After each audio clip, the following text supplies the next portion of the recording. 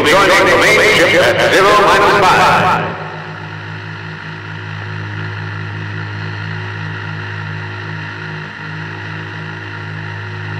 Phase one now completed. This is assembly control closing down.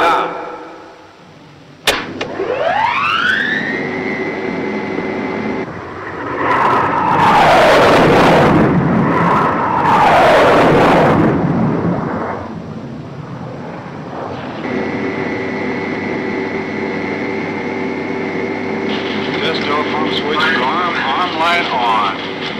Switching command to internal. Fuel tank pressure 60, lock 45, check record. Roger. Dr. Grant, Dr. Pierce, Can you hear me? loud and clear. Paul? Greg? Brad? Now, this is a tough assignment. And if this mission is successful, you will be the first man to land on Mars. This project has been the most costly yet devised by man. However, the safety of the crew and passengers still takes top priority. Now, is that clearly understood? Captain Paul Travers? Yes, sir. Space Captain Greg Martin? Yes, sir. Space Navigator Brad Newman? Yes, sir. Dr. Grant? Yes, sir. Dr. Pierce? Yes, sir. Okay. Away you go. And good luck. Thank you, sir. Right, this is it. Lock tanking secure.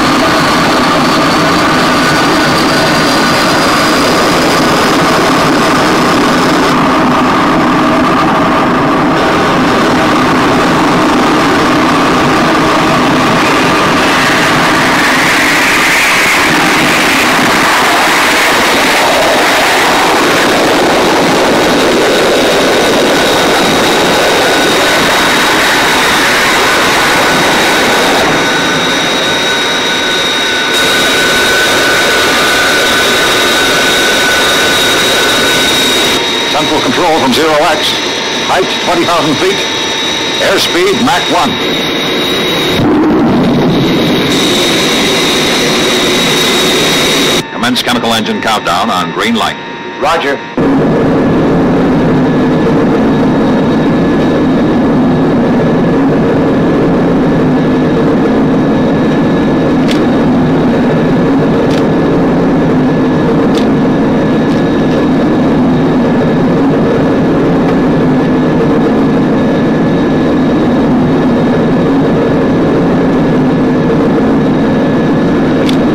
Check trim. Roger.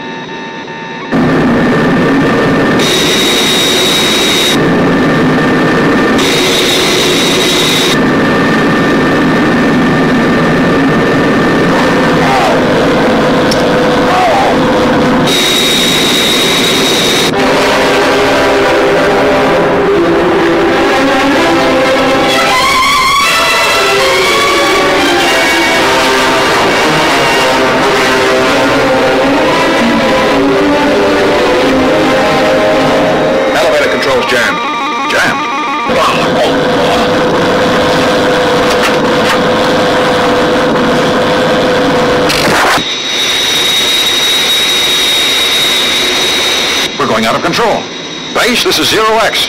Our control system is jammed. Nose is dropping. Ejecting nose cone.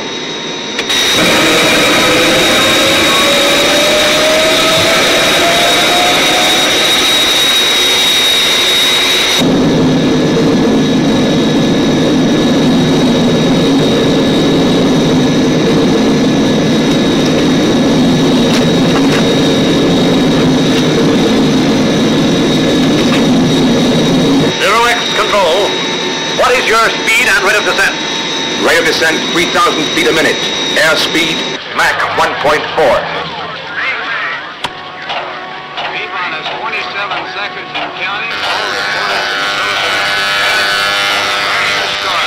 This is Central Control. Air Sea Rescue Units immediate launch. Vector 276 magnetic, range 172 miles.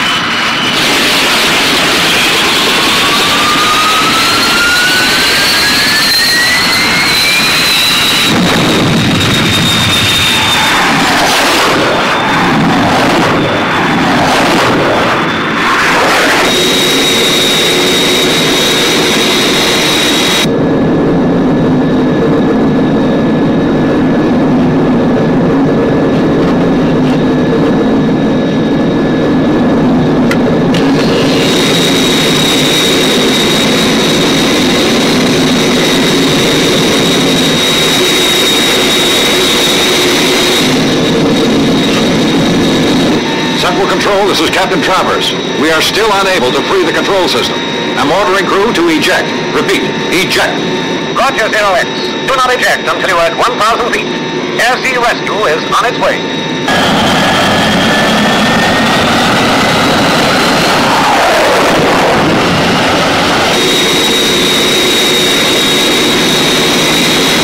Flight deck to escape unit. Everyone ready, Greg? Okay, Paul. All in position. Okay, Greg. Coming back now.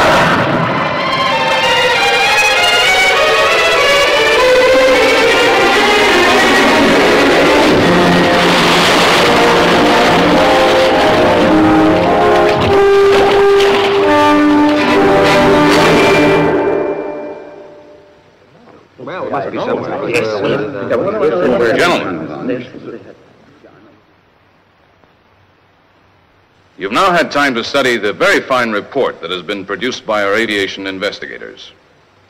We at the Martian Exploration Center wish to thank those concerned for their untiring efforts in this direction. Although the report runs to 862 pages and meticulously describes every happening that led up to the crash 24 months ago, the conclusion is all too simple. Sabotage. Now, before we progress further with this meeting, I would ask you for a vote of confidence in the findings of this very fine report.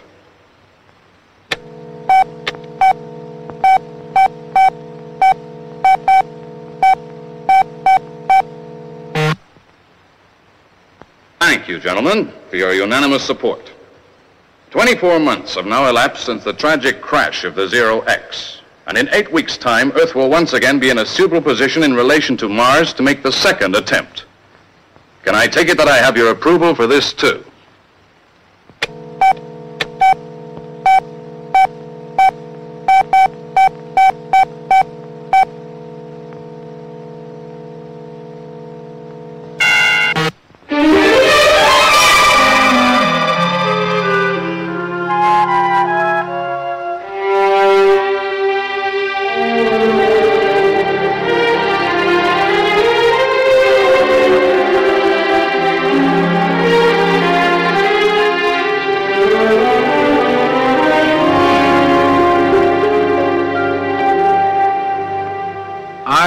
Think our security arrangements are inadequate and would suggest that we ask International Rescue to be present at the next launching.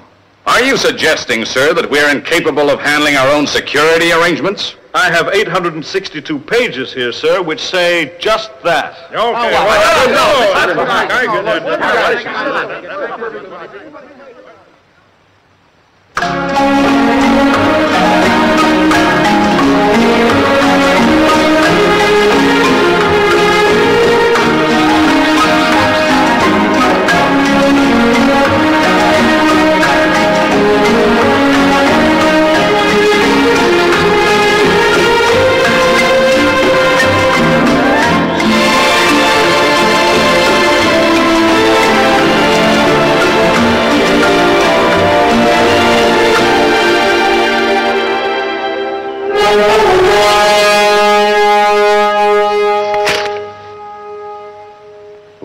Father, takeoff is scheduled for tomorrow morning.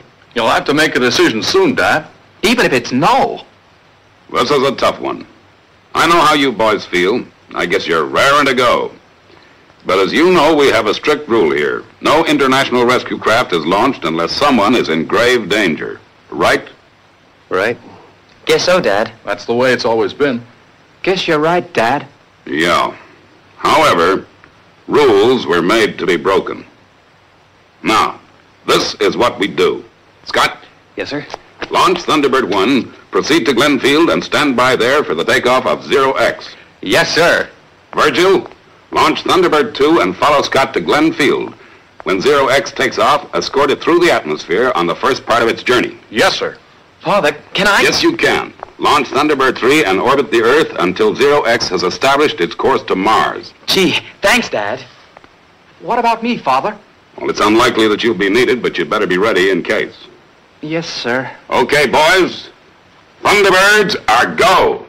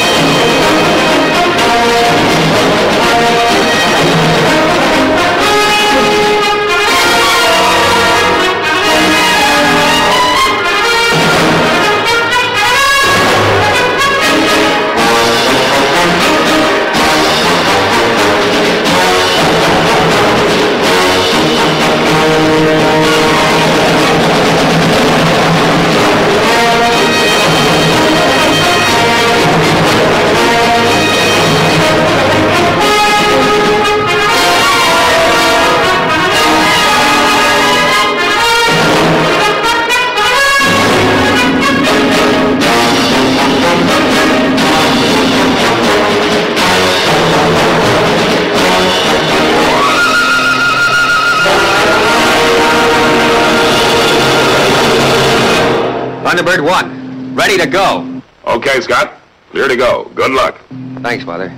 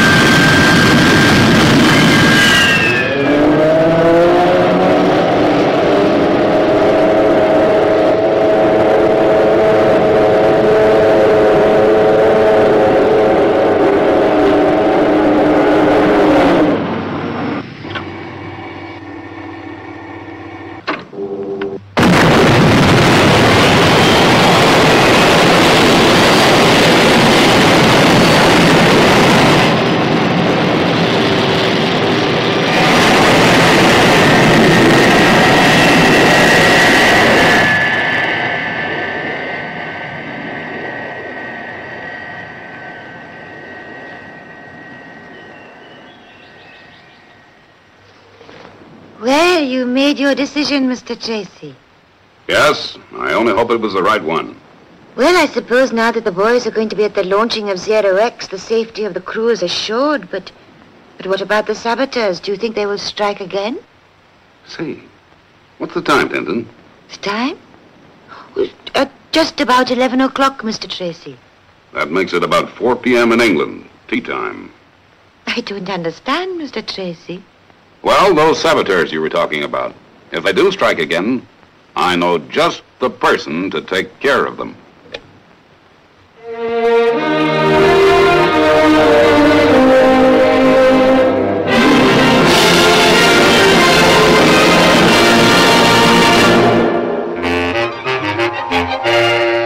Will that be all, milady?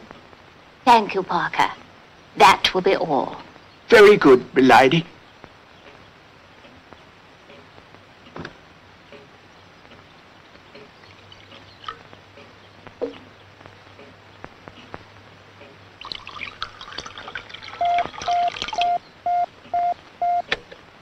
International Rescue, England. Lady Penelope speaking. Hi, Penny. Well, I've made my decision. We're going to oversee the Zero X launch. Thunderbirds 1, 2, and 3 are on their way. I want you to go to the States immediately and ensure that there's no sabotage attempt this time. FAB, Jeff. I'll fly over with Fab 1 right away. Now, I'll need to move around there freely on this type of assignment. Can you pull a few strings your end to see that I get the necessary parts? Will do, Penny. There's a big press conference tomorrow evening. You'll be representing a British magazine. FAB, Jeff.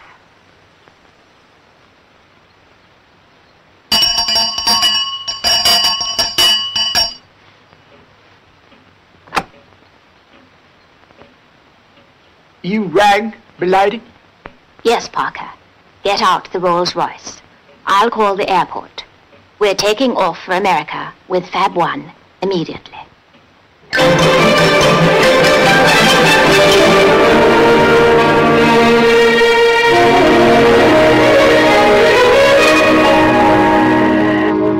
Thunderbird 2, from mobile control, you are clear to land. Mobile control from Thunderbird 2. FAB.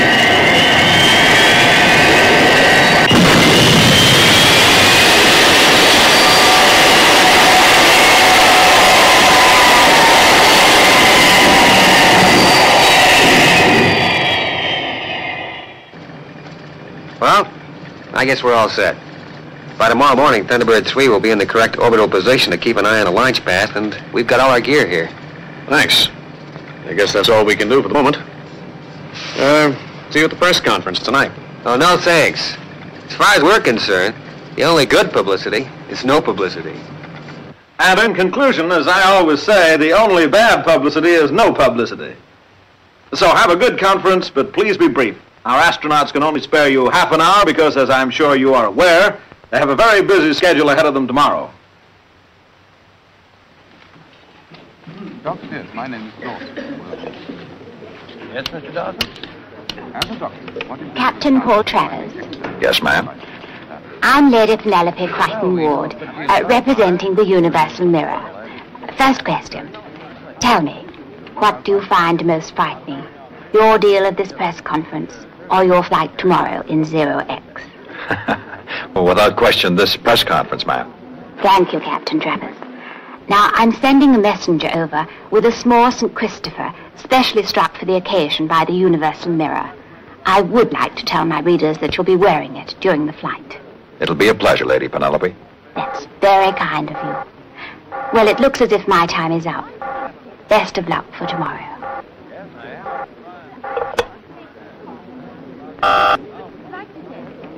Captain Paul Travers? Package from Lady Penelope. Universal Mirror, sir. Right. Now, there'll be three crew and two scientists. Right. Right again. Yep, at 1,400 hours tomorrow. That's right, six weeks and two days. I'm afraid I can't answer that question.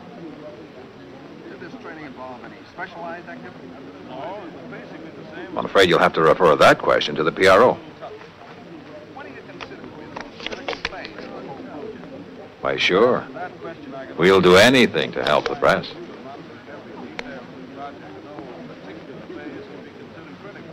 I've got a feeling that the takeoff tomorrow is going to be just fine.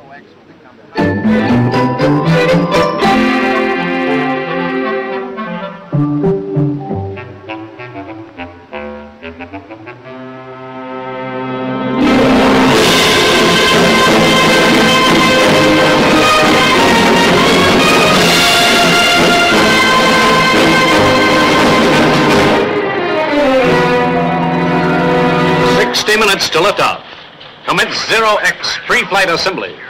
Thunderbird 2 for mobile control. Are you ready, Virgil? Standing by, Scott. Mobile control calling Thunderbird 3. Okay, Scott, in orbit. I should be able to see Zero X as it leaves the Earth's atmosphere. Unless liftoff time is altered. FAB, Alan.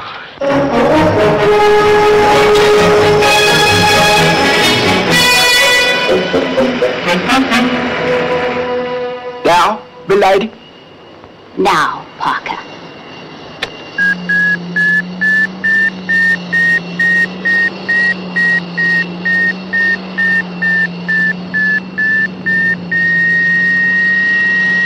Channel 1, milady.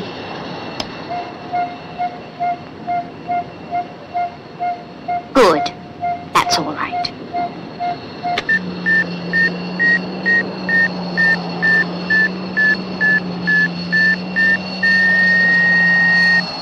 Channel 2, milady. Zero X moving into position.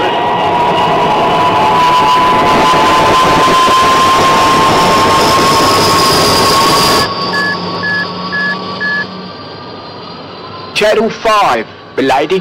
Thank you, Parker. Trouble, Parker. I thought it was too good to be true, milady.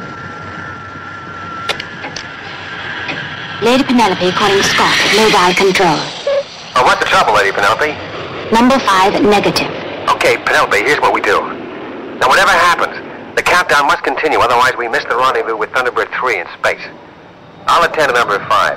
Meanwhile, locate Dr. Grant. FAB. This is Assembly Control.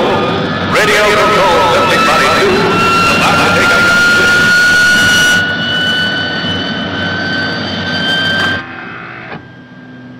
Everybody okay?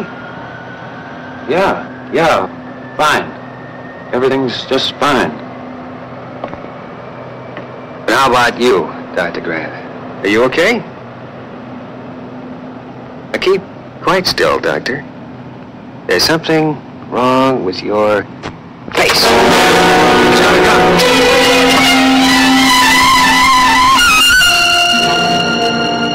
I should allow yourself ten seconds before coming through this door after me. Otherwise, you might get your head blown off.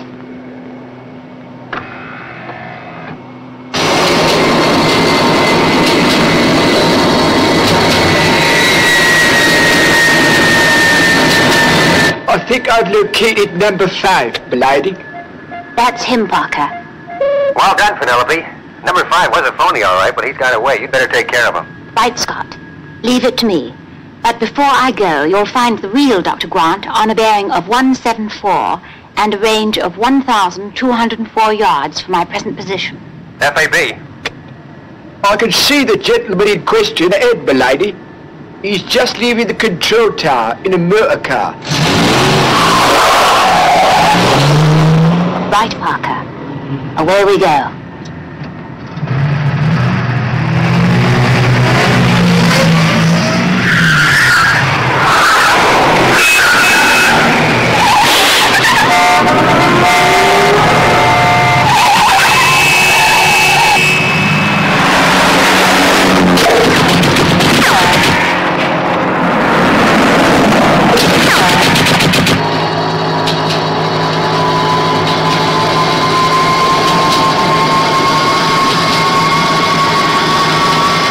You'll find the real Dr. Grant somewhere in this building here.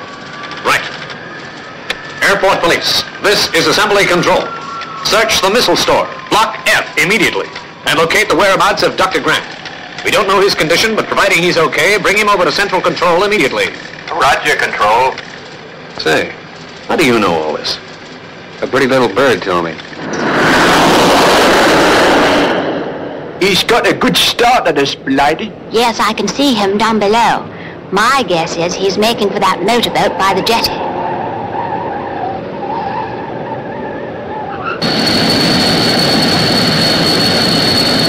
How are you feeling, Dr. Grant? Just fine. There was no violence. He just held me at gunpoint, tied me up, and locked me in the missile store. Guess it's another sabotage attempt. What beats me is how you knew where I was. Well, all you need to know right now is that everything is okay. The launch is taking place as per schedule. Okay, sir. So much for the good luck charm given to me by Lady Penelope.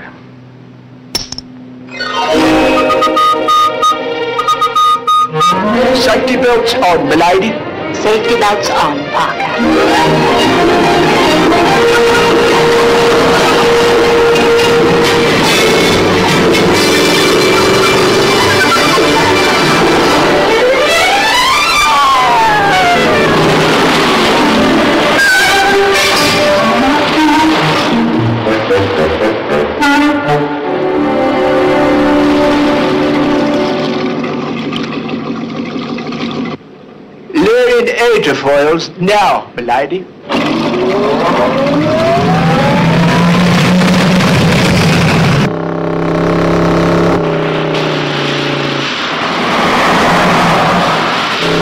Don't believe it.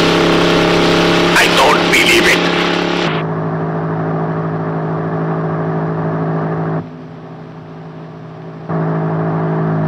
Take off, lighting. Looks as if an accomplice is waiting to pick him up in that helicopter, milady.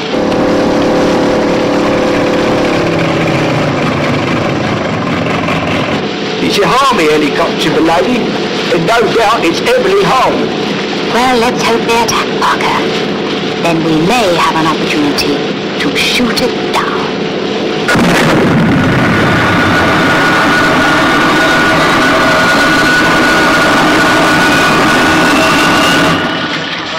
Control to Thunderbird 2, launching underway. You'd better lift off yourself. Thunderbird 2, FAB.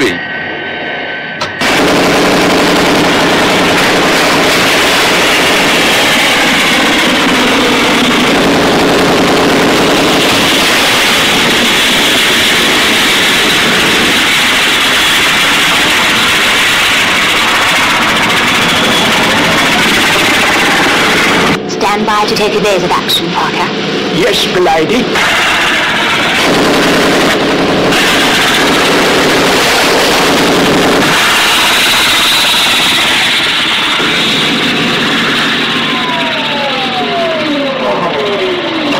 Now, milady?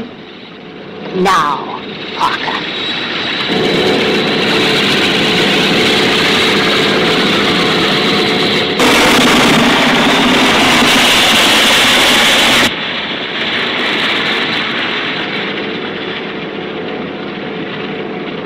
Just a little bit over to the right, old son. Thank you very much.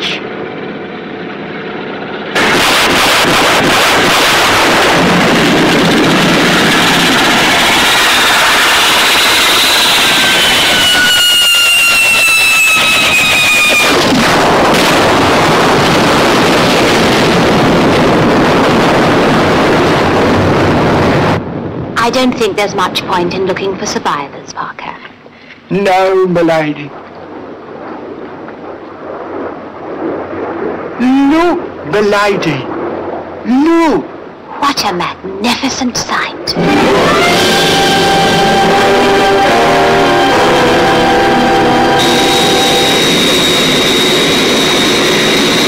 Central Control from Zero X. Lift off, A-OK.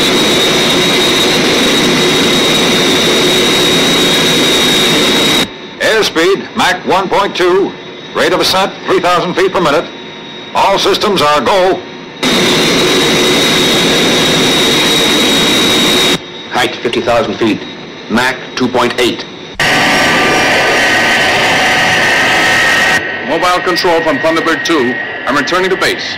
Zero X is entering rarefied atmosphere and she's doing fine. In a few minutes, it'll be over to Alan. Okay, Thunderbird 2. Thunderbird 3, can you hear me?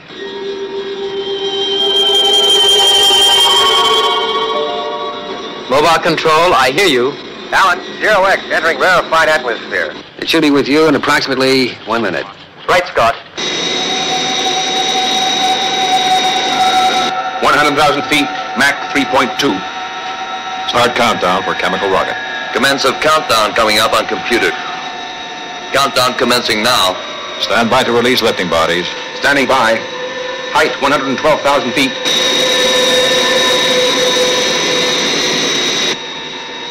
Height 120,000 feet. Increase rate of ascent to 6,000 feet a minute. Roger. Computer reports jettison lift bodies 10 seconds. Release on green light. Roger. 5 seconds. Three, two, one.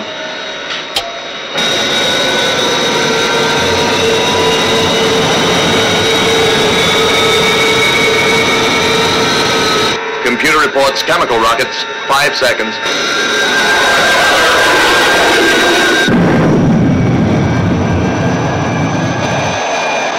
Airspeed 3,000 knots.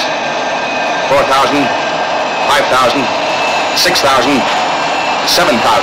Leaving Earth's atmosphere. Computer reports jettison nose cone 10 seconds. Roger.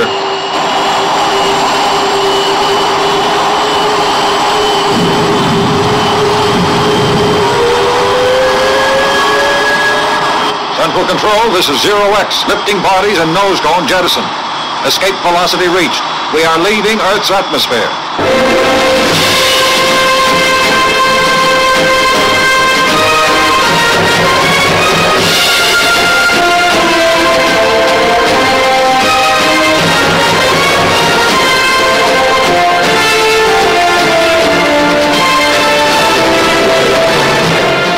Okay, switch an arc jet engine. Mobile control, this is Thunderbird 3. I can see Zero X. She's on course and accelerating to 100,000 miles per hour. Okay, thanks, Alan. You'd better return to base. FAB. International Rescue calling Zero X. May we offer our congratulations on a superb liftoff. Fortunately, our services were not required, although I can tell you now that a sabotage attempt was made just before liftoff. But we took care of it. Now I guess the rest is up to you. International Rescue from Zero X. Dr. Grant has just told us about the sabotage attempt. The only thing we really want to say is thanks. And may I add my thanks and congratulations, too. Uh, you did pretty well yourself.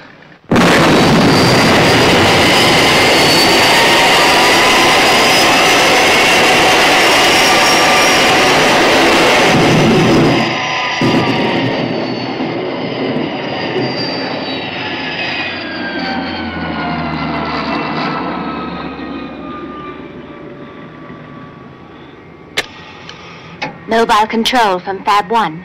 Are we clear? Hi there, Penelope. All clear. I'm on my own. Well, how'd it go? F-A-B. Well done, Penelope. Well, it's been a hectic time for all of us. How about us all getting together tonight over a drink? I hear there's a fab nightclub called the Swinging Star near my hotel. F-A-B? Oh, uh, hi there, Penelope. I just happen to be monitoring your frequency, and I, uh, Well, what do you say, Virgil? Are you game? I sure am.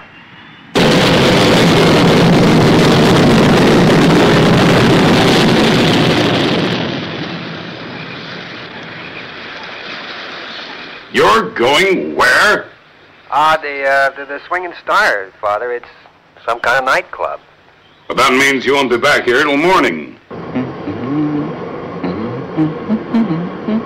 Sure, I understand you need a break, but this is a tough job we're doing here. Mr. Tracy, all work and no play makes Scott a dull boy. Hmm, okay then, Scott. Have a good time. Gee, thanks, Dad. I've made arrangements with Glenn Field. They'll be able to reach us by radio at any time. Now, don't forget, Dad, we'll be at the Swinging Star. Right, Scott? The Swinging Star? Yeah, that's right. It's some sort of a nightclub. They're all going out tonight to celebrate. A nightclub? And I'm stuck back here at base. Just my luck. Say, Tintin, why don't we go off to the mainland tonight? Just the two of us. That would be lovely, Alan. I'll wear my new dress. What goes on around here? Have you all gone crazy? This is international rescue, remember? We can't leave the base unmanned. Sorry, Tintin. Oh, that's all right, Mr. Tracy. I understand. Well, I don't. I'm going to bed. But won't you have some coffee, Alan? No, thanks. It keeps me awake.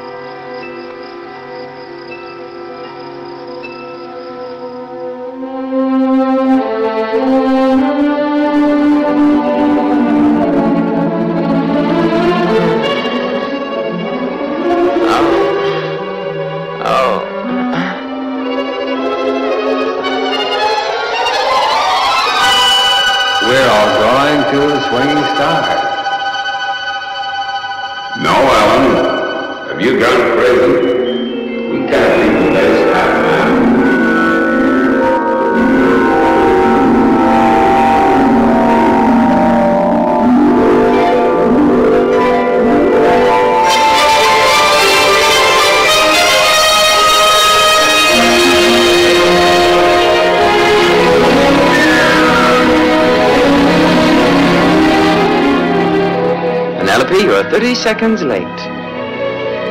Swinging Star. Sounds great. Why, here she is.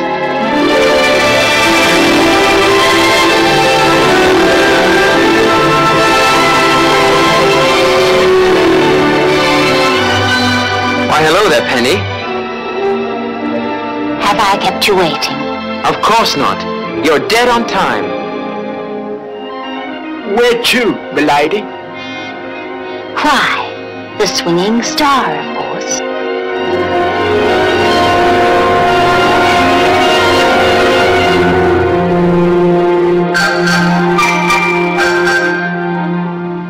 Now, milady? Now,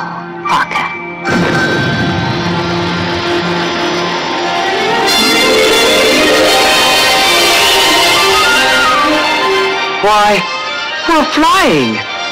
That's right. Turn right just past Planet Mars, and you should see the swinging star straight ahead of you, Parker. Right, milady.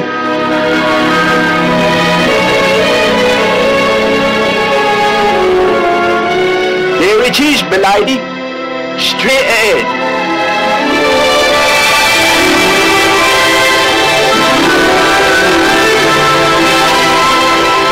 Gee, it's fabulous. I thought you'd like it.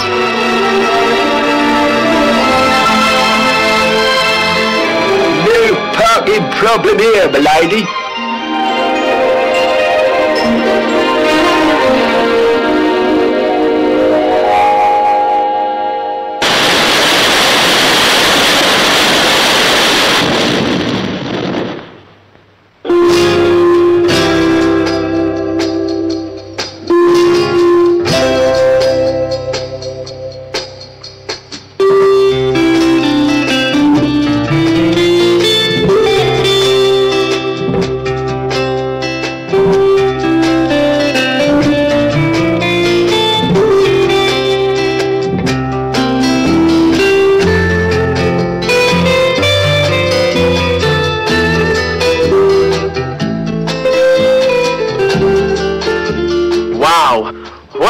terrific group.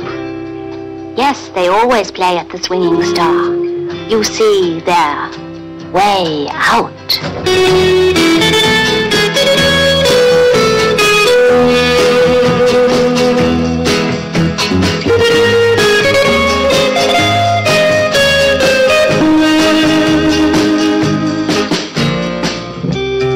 Say, Penelope, how how did you enjoy your night here with Scott and Virgil?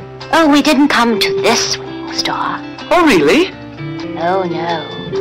This is reserved especially for you.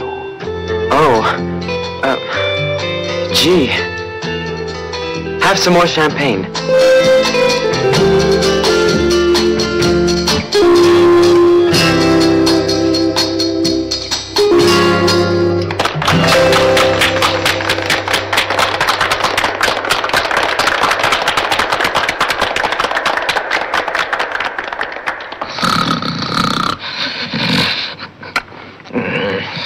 And now, ladies and gentlemen, we present the biggest star in the universe. None other than Cliff Richard Jr.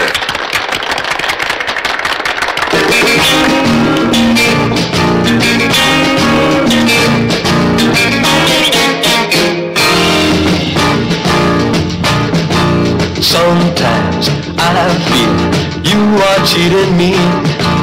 Then you kiss me, and my mind is free. But then I think I should let you know that I got friends. So baby, listen to me. A shooting star will shoot you, and Mars will go to war. The man in the moon will jump on you if you don't love me no more. I saw someone else's car. You told me that he won't go too far. That may be so, but you let him know that I got friends. So baby, listen to me. A shooting star will shoot you and Mars will go to war. The man in the moon will jump on you if you don't love me no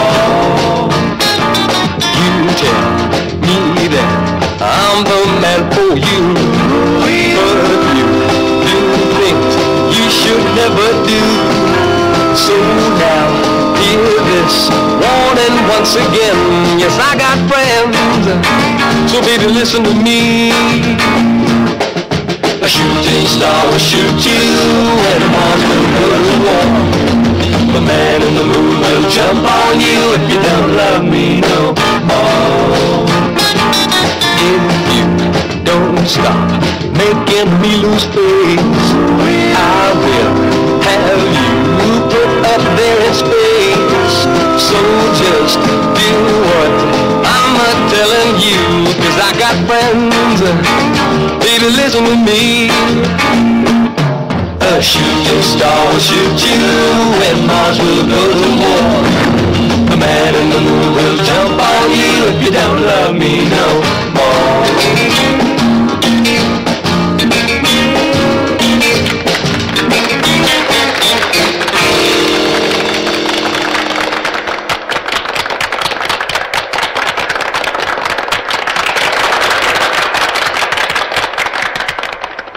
What an evening.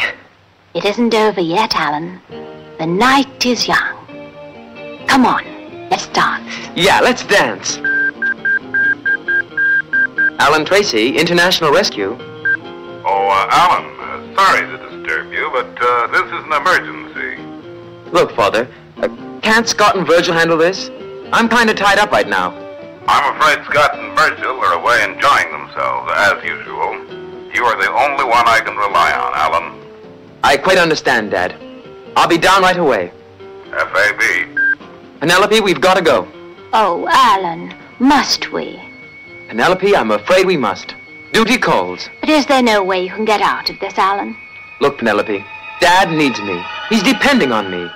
I've just got to go. Mind the gap, milady. Here when you step into the car. Thank you, Parker. We don't want to fall back to Earth, do we? Mind the gap, Alan. Mind the gap, Alan.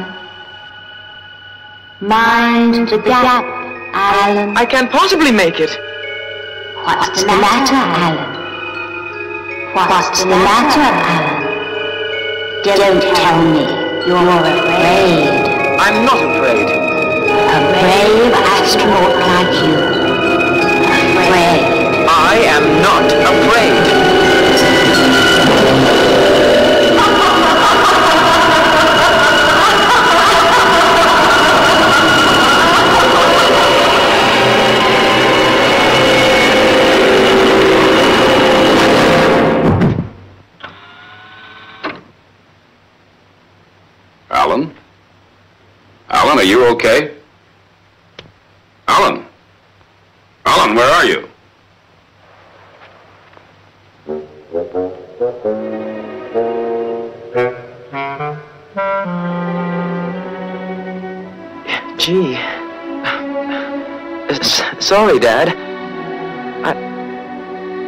Guess I fell out of bed.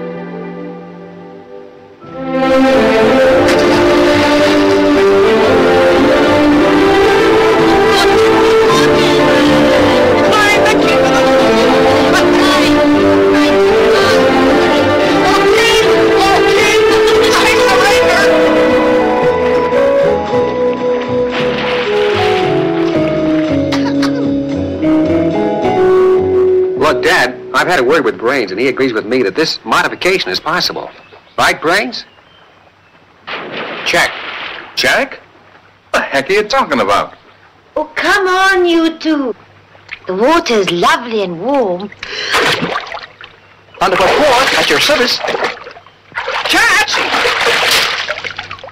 Can't a guy get any peace around here? Wish John was here to enjoy the fun. But I guess someone's got to man in the space satellite.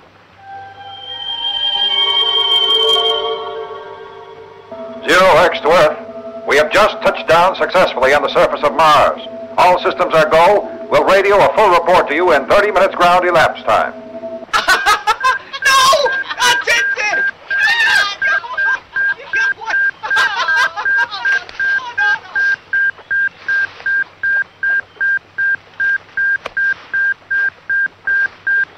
Go ahead, John. Father, I was just listening to the Zero X transmission to Earth. They've just announced they've safely landed on Mars. Thought you'd all be interested down there to hear the news. Thanks, John. Keep in touch. FAB. Listen, everyone. Just heard from John. After six weeks in space, Zero X has safely landed on Mars.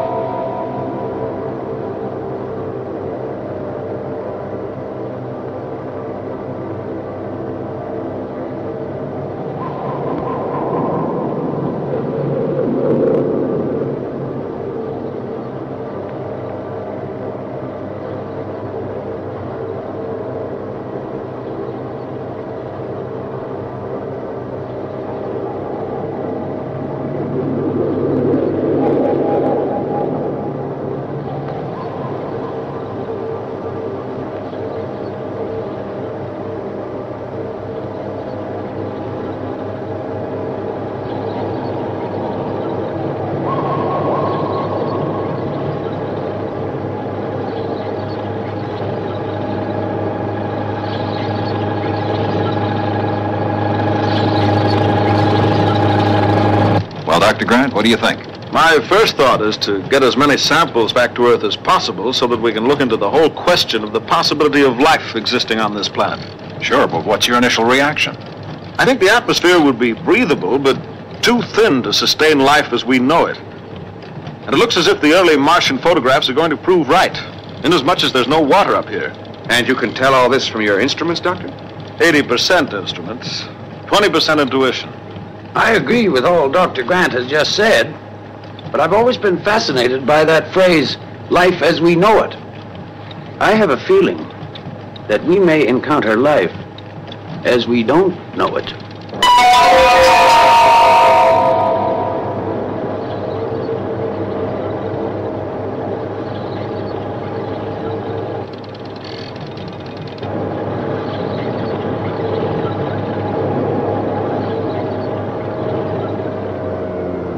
These strange formations seem to be all over this part of the planet's surface. Don't ask me why, but they worry me. Now, Ray, don't let your imagination run riot. Yeah, Tony, I know it would be all too easy to happen up here. But can you account for the strange formation of those rocks? Well, obviously, a considerable study will have to be made before we know the answer. But um, my first impression is that when the crust of the planet was very thin, it was struck by meteorites. As the meteorite punctured the shell, so the hot rock exuded onto the planet's surface, like toothpaste out of a tube. A good theory, Tony. Now explain to me how the exuding rock wrapped itself into a coil. You know, Ray, you've got a point. Now, clearly, gentlemen, this is one of the many things we have to investigate. Now, we're falling behind schedule. Can we uh, move on? Sure, Paul. Uh, sorry about that.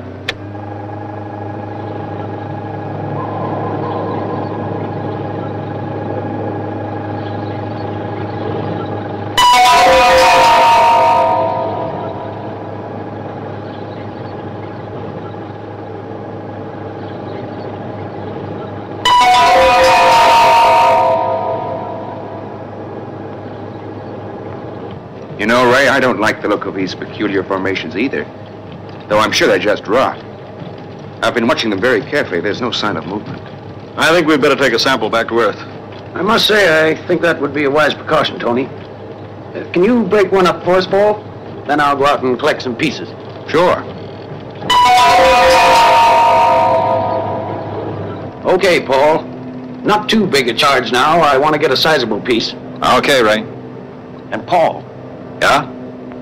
As soon as you fire, I recommend you stand by at the ready. Stand by at the ready. What for? I don't really know. I've just got a feeling, that's all.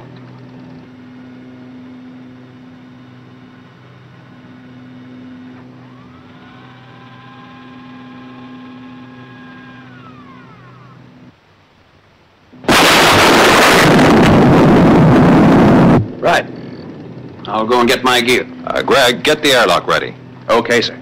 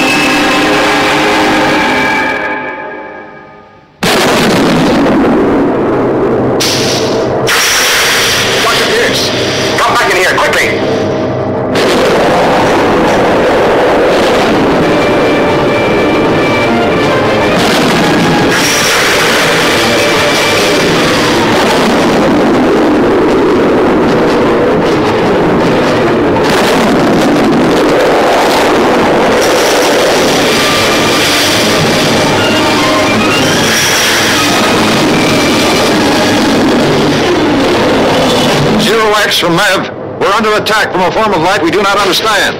Require immediate rendezvous with main body. I'm just coming around on third orbit. We'll be in rendezvous position in four minutes. Okay, Brad. We'll take a evasive action down here until you're in position. Give us liftoff clearance the second it's okay. Will do. But, Paul, we must lift off immediately. We don't know what damage these things can do to us. Take it easy, Doctor. We can't lift off until the main ship's in the correct rendezvous position. Otherwise, we'll run out of gas and be stranded in space.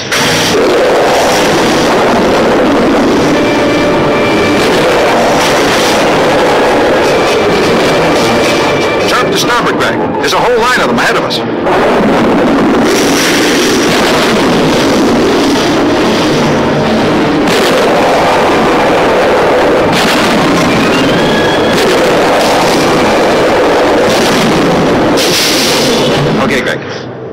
Return their fire. We can't take too much of this punishment. Okay, Skipper.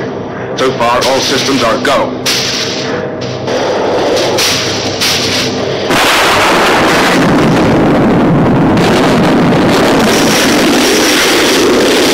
Zero X from Matt.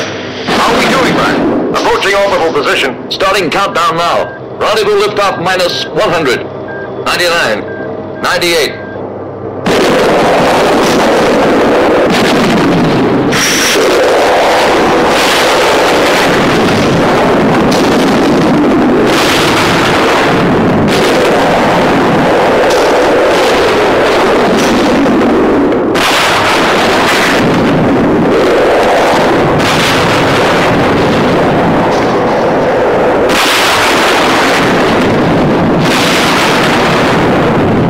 Thirty-four, thirty-three, thirty-two.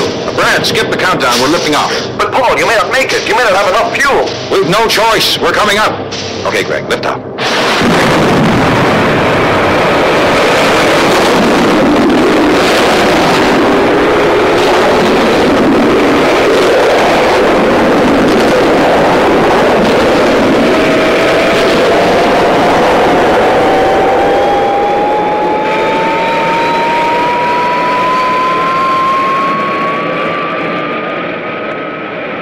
Atmosphere, Paul.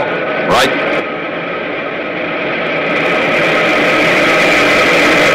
From Zero X. I have you on my screen. You're approaching Zero X orbital path. Five seconds to retro firing. Four, three, two, one. Retros.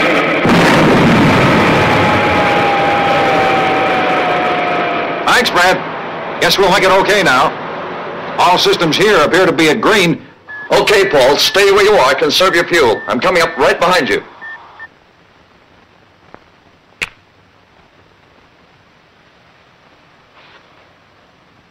Well, at least the Martian excursion vehicle has joined up successfully with the main body of Zero X. These are so-called rock snakes, Father. Well, what do you make of them? Well, clearly there's life on Mars, but I guess it's not life as we know it. Do, uh, you think I'll get back okay? Well, according to the reports that John monitored in the space station, the damage to the MEV has not impaired their efficiency, so there shouldn't be any problems. As a matter of fact, I, um, I had a word with the controller at Glenn Field this morning. He reckoned their re-entry into Earth's atmosphere will be pretty straightforward. They've done it a hundred times before on test flights. What's the scheduled date for the re-entry into the Earth's atmosphere, Dan? Well, their flight takes them six weeks, so they should be arriving in the morning of September 2nd.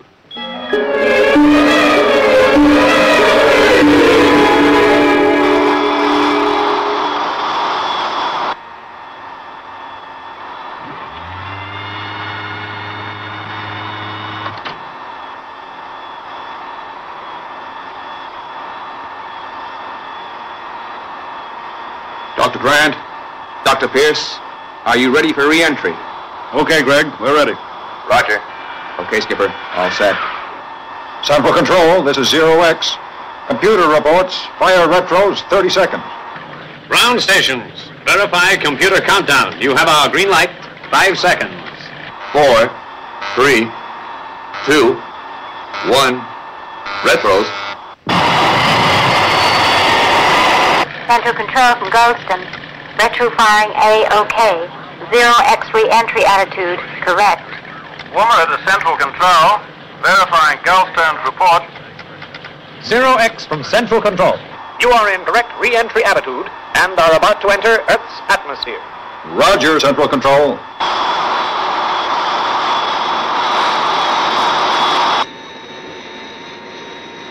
Retros. Zero X from Central Control. Lifting bodies now at 50,000 feet. Radio control over to you in five seconds. Four, three, two, one, over. Okay, Paul, we've got the lifting bodies under our own radio control now. Roger.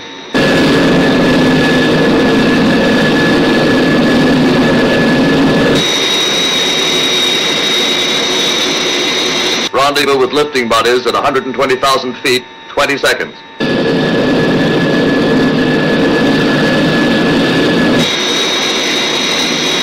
Reduce speed to Mach 2. Rendezvous about to take place. Roger.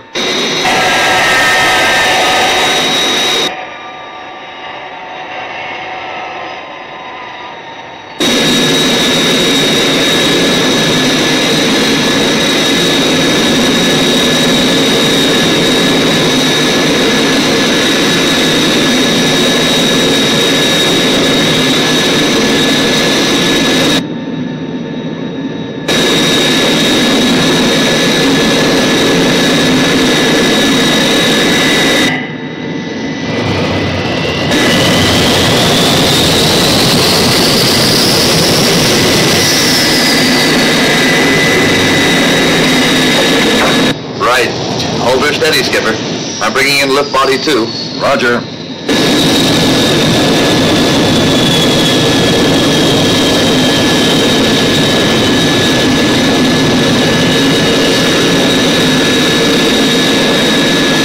Keep her steady, Skipper.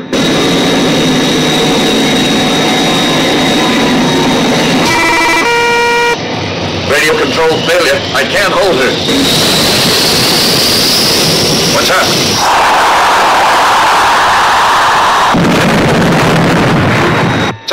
Control, this is Zero X. Emergency. We have lost lift body two following a collision. Caused by a fault in our remote radio control unit. Roger, Zero X. I'm setting up another lift body immediately. That won't help us, I'm afraid. The locking gear was damaged in the collision. Check on all systems. Show fuel systems go. All control systems go. Remote control radio circuits are dead. Escape unit is...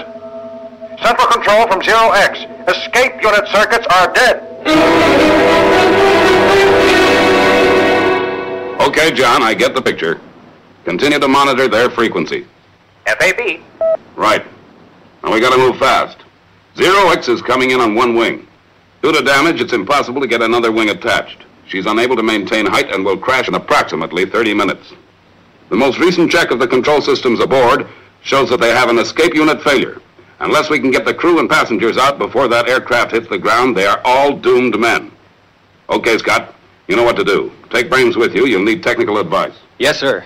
Okay, Virgil, take pod four with the air-to-air rescue equipment and rendezvous with Zero X. Yes, sir. Alan, Yes, sir.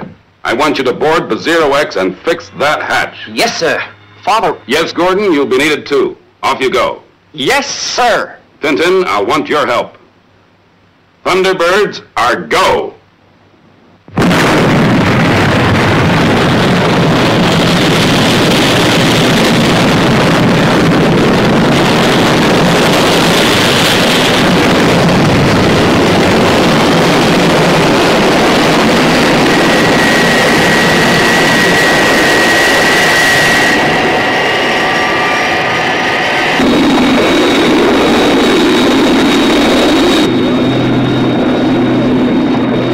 Maximum speed, Scott. We're gonna need all the time we've got.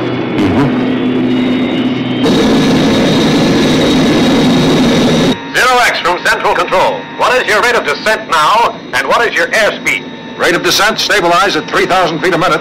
Airspeed Mach 1.2. We can't slow the rate of descent. The motors are flat out. Over. Zero X, Roger. Stand by.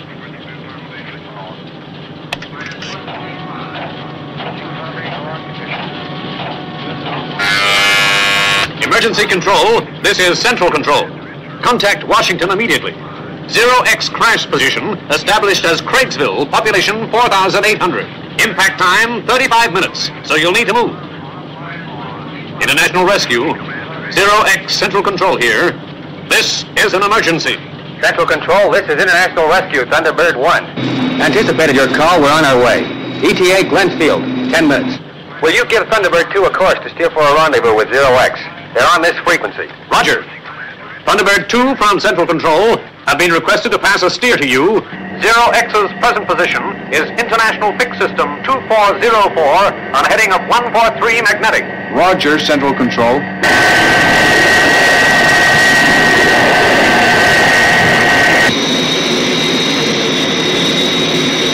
I've tried everything in the book, but the escape unit system is dead. If only International Rescue had been with us this time, they might have come up with something. Zero X, this is Central Control. Change to Channel 4. International Rescue are on their way and they require to make contact with you. Is that understood? Yes, sir, that's understood. Changing to Channel 4.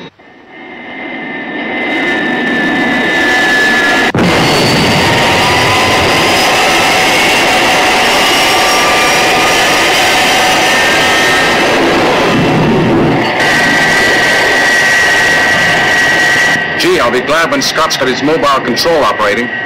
We'll need his assistance in locating the Zero X. He must be getting pretty close by now. I'd better get my rescue gear on. Right. Gordon, you better get up the Astrodome. Okay, Virgil. Zero X, this is International Rescue, Mobile Control. Can you hear me? Over. International Rescue, this is Zero X. Yes, we can hear you, loud and clear. Zero X and Thunderbird 2 for mobile control. Transmit 10 seconds of unmodulated carrier wave on this frequency. One at a time, please. Zero X. Zero X, roger.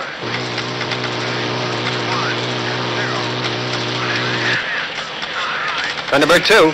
Roger, Thunderbird 2.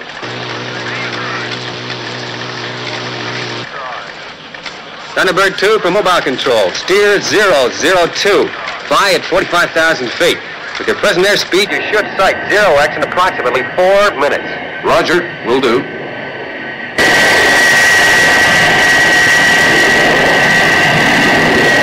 What do you intend to do? Well, we hope to put a man aboard Zero X. And if we succeed, we may be able to fix the escape unit. Excuse me. Zero X.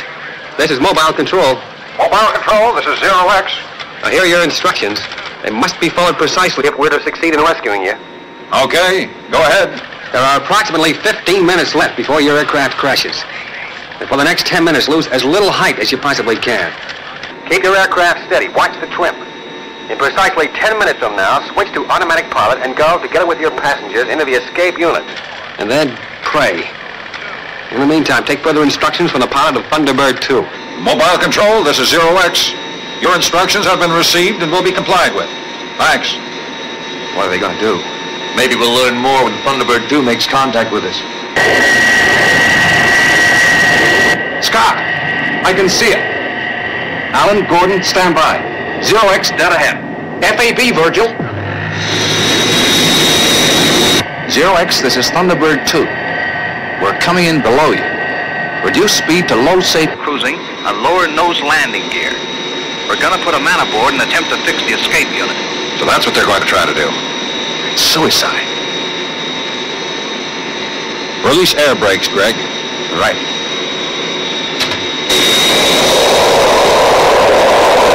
Lower nose wheel, Greg.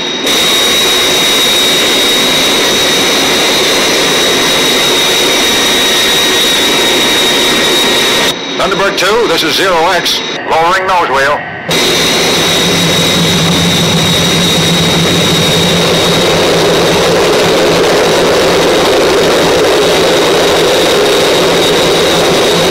Are you sure you want to try this?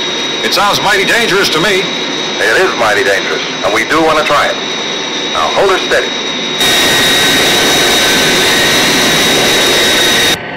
Gordon, flight control over to you. Okay, Virgil. Left, left, one degree. Right, right, two degrees.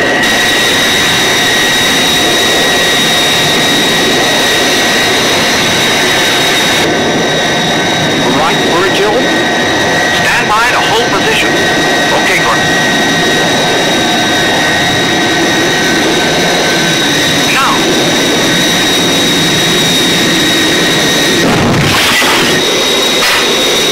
Good shooting, Gordon.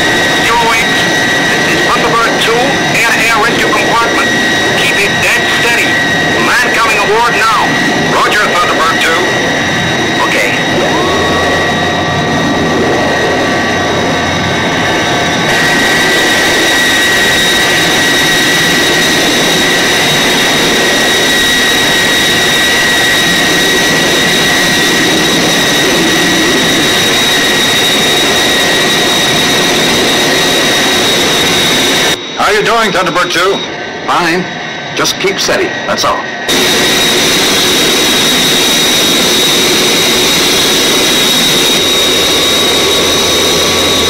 Slow right down. And stop. Give me a time check, Gordon. You've got four and one half minutes. Mobile control from Alan. Okay, Brains. On the right of the master cylinder that supplies power to the hydraulic system of the nose wheel, you will find a yellow wiring harness. Follow this through to a red junction box marked EUC. Got it. Doctors Grant and Pierce, hold tight. I'm removing you to escape unit. Okay, Paul.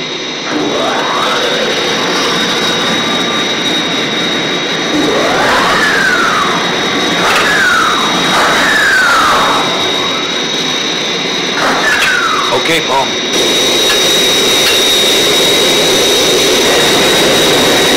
Okay, cover removed. Place transistorized radio induction unit on the side of the junction box.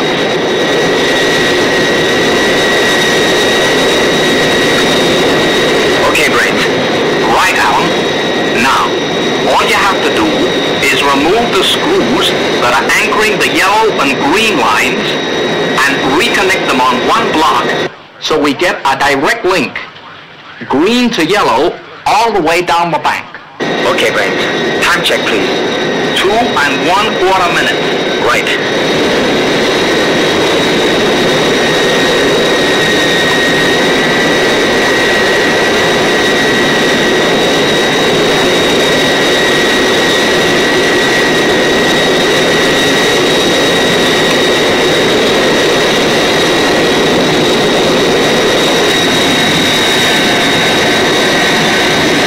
Brad, Greg, I'm sending you both back to the escape unit.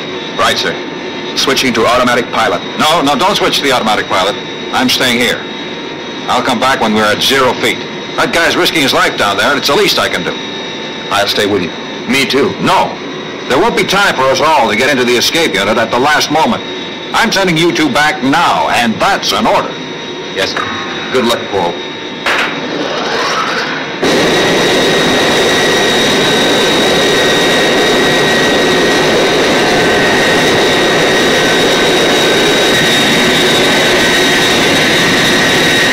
Zero X from Thunderbird 2. Are you all in escape unit? Thunderbird 2 from Zero X. All in escape unit except me.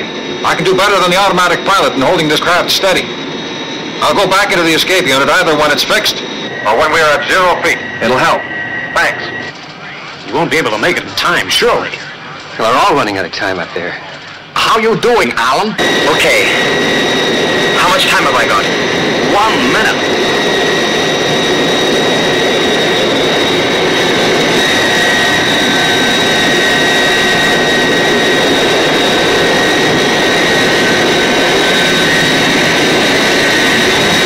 Gordon, Alan isn't through yet, and we're dangerously near the ground.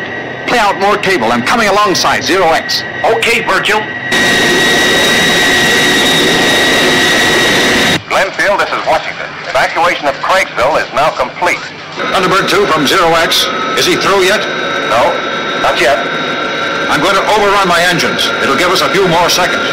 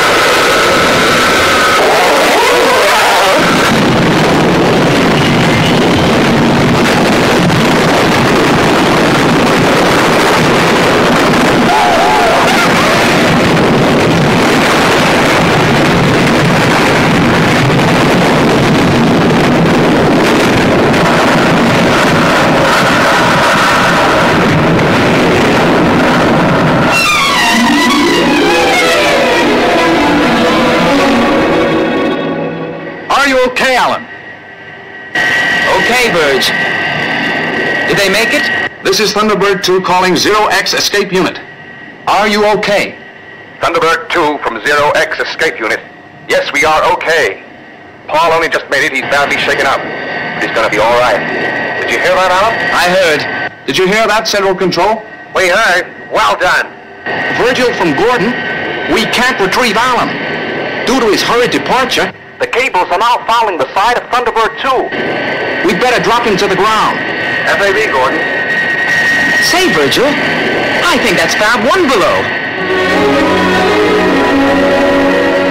Thunderbird 2 from Fab 1. Virgil, we're down below. Why not drop Alan down here? Yeah, Penelope, I can see you. Say, how did you get here? As soon as we heard the forecast crash position, we made our way here.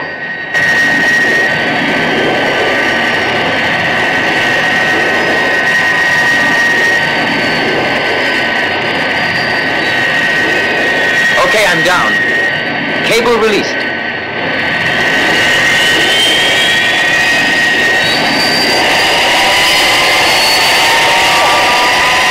Gee, it, it sure was swell of you to come here and pick me up, Penelope. After that brilliant performance, I think that's the least you deserve. Now jump in. I assume, madam, that the first call will be Glenn Field, and then hunt to your hotel. Is that correct? That, Parker, is quite correct.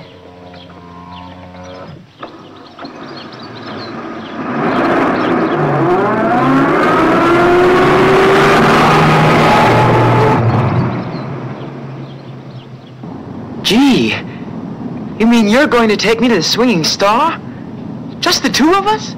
Just the two of us. It's like a dream come true.